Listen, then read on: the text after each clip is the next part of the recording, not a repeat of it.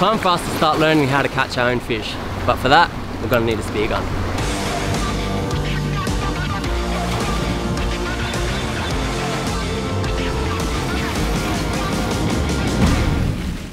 Spearfishing is an awesome way to enjoy the ocean, to live off the land, to further enhance our freediving experience, and to ensure that we're sustainably consuming the fish we eat.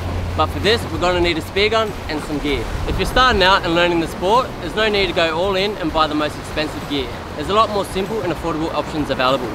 The gear that is right for you is really a question of what you are looking to catch. As you're starting out, the answer to that would most likely be small to medium good catching fish and the gear is accordingly quite simple. The two most common types of spear guns on the market are open heads and inverted rollers.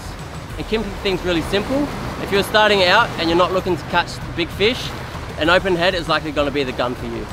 The main advantage of starting out with an open head like this one here, for an intermediate and beginner diver, is their price. They're far more affordable.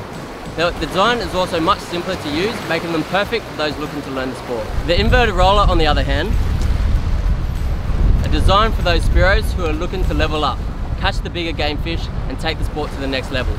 They do cost more, but they have the advantage of greater power, greater accuracy and zero to no recoil at the handle. The next question we need to ask ourselves is how long do we want our spear gun to be?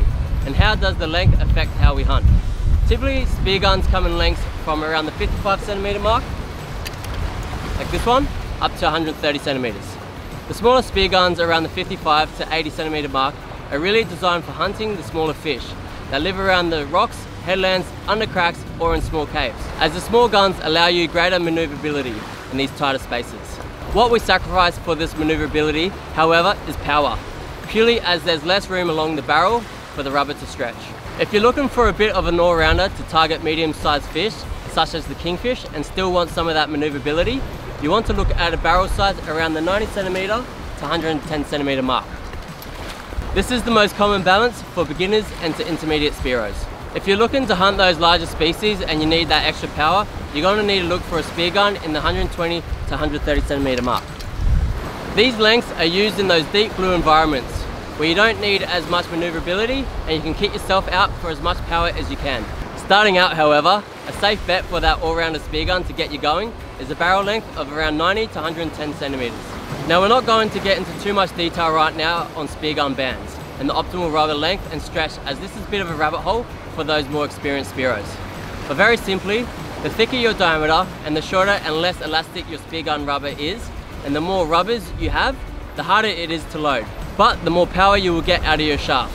Starting out, it's best not to make things too difficult for yourself. Final thing we need to touch on is the shaft. Shafts come in a range of sizes from around 6mm thick to 8.5mm and increase in price accordingly. Again, keeping things simple as we're starting out. Generally, the larger fish, the larger shaft. A shaft around 6mm to start out is more than sufficient. Now we've built our perfect beginner to intermediate all-rounder, we need to learn how to use it.